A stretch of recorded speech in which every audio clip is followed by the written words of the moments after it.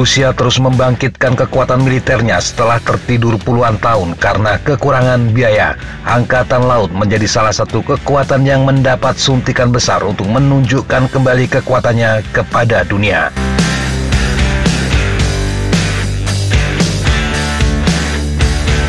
Sementara setelah lebih dari satu dekade, Pentagon terjebak dalam perang darat yang didukung penuh kekuatan udara di Timur Tengah dan Asia Tengah, Angkatan Laut Amerika juga kembali menginvestasikan misi perang laut. US Navy memperluas kemampuan ini tetapi pada saat yang sama juga memperkenalkan kapal kelas baru. Salah satunya destroyer kelas Jungwat yang dirancang terutama untuk mendukung perang darat.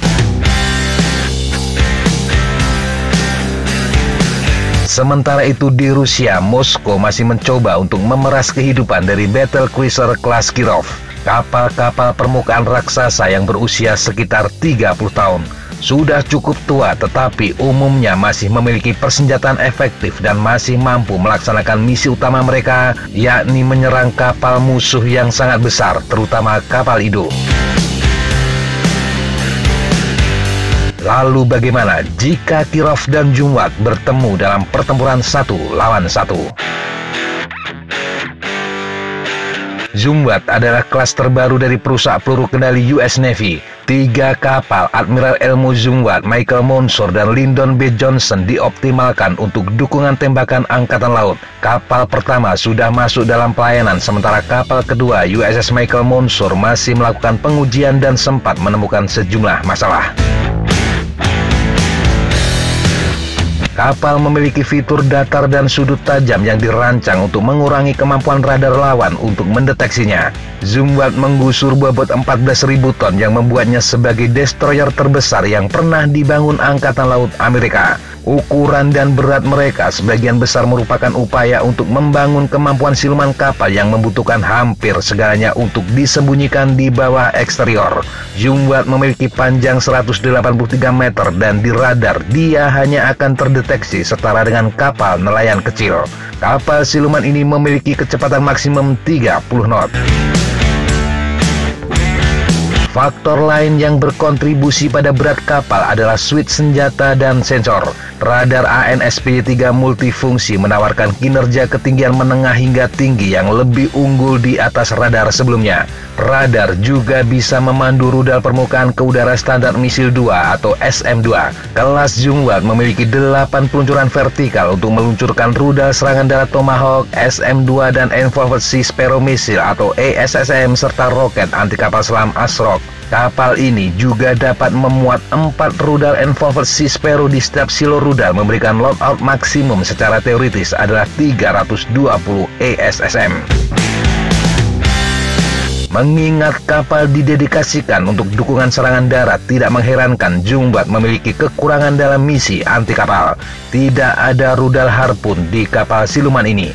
Harpun tidak cocok dengan silo rudal dan harus menggunakan peluncur tabung miring yang biasanya terletak di dek utama.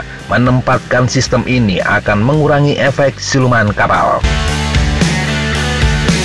Kapal memiliki dua advance gun system 155 mm yang memiliki jangkauan hingga 83 mil dan tingkat tembakan 10 putaran per menit. Senjata memiliki kemampuan anti permukaan dan akan memberi kerusakan luar biasa terhadap kapal-kapal permukaan lapis baja ringan yang ada saat ini.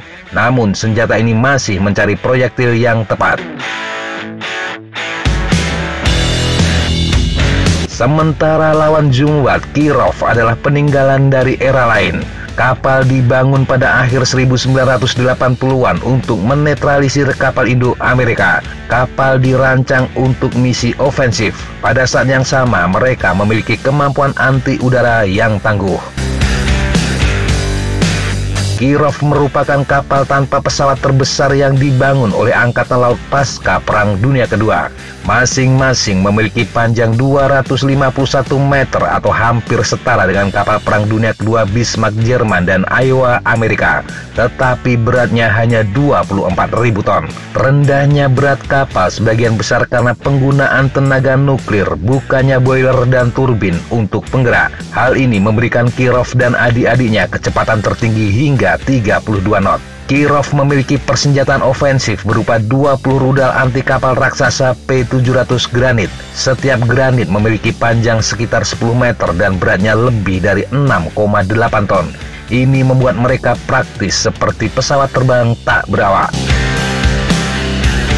Granit memiliki jangkauan 500 km dengan kecepatan 2,5 Mach dan hulu ledak 750 kg. Informasi penargetan awal dapat disediakan oleh platform lain seperti Kirov sendiri, helikopter atau pesawat patroli seperti Tu-95. Bahkan bisa disediakan oleh sistem penargetan satelit Legend yang secara khusus dibangun untuk memberi data target ke Kirov dan kombinasi Granit. Kirov juga dirancang dengan perlindungan pertahanan udara. Sebanyak 96 sistem rudal permukaan ke udara S-300F membentuk pertahanan udara kapal ini. Sementara 40 rudal jarak pendek 4K-33 menciptakan lapisan dalam dan sebagai upaya terakhir melawan serangan udara. Kapal memiliki 6 cos in weapon system AK-630 dilengkapi dengan Gatling gun 30 mm. Dalam pertempuran antara dua kapal, siapa yang akan menang? Mari kita asumsikan menempatkan dua kapal di laut lepas pada kisaran maksimum senjata anti kapal kedua platform. Jangkauan rudal granit Kirov adalah 500 km. Skenario awal kedua, kapal belum mengetahui posisi lawan. Kirov memiliki sistem satelit Legend yang bekerja untuk mencari Jungwat. Tetapi Legend adalah satelit radar dan Jungwat adalah perusahaan siluman dengan radar cross-section sekecil kapal nelayan. Kedua kapal saling mencari satu sama lain dengan helikopter memindai laut di balik cakrawala. Dalam situasi ini, perusahaan siluman memiliki keuntungan. Helikopter Zumwat kemungkinan akan bisa mendeteksi Kirov terlebih dahulu dan mengirimkan data posisi ke induk mereka. Kirov mendeteksi helikopter tetapi tidak menyadari lokasi sebenarnya dari Jumbat. Jika Jumbat dapat mempertahankan sifat silumannya ini secara teoritis dapat menutup berbagai senjata dari Kirov.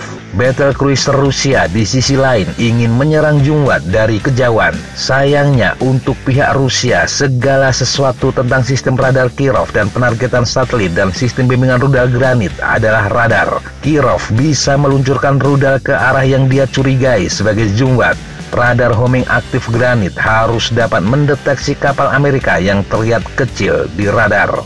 Bahkan jika Granit bisa mengunci Zumbat, kapal Amerika memiliki pertahanan udara untuk menghadapinya. Dilengkapi dengan setidaknya 18 rudal pertahanan udara jarak menengah SM-2 dan beberapa lusin rudal pertahanan udara jarak pendek Envolved Sea Sparrow, Zumbat mungkin bisa merontokkan sebagian besar Granit. Bagaimana jika Zumbat yang menyerang?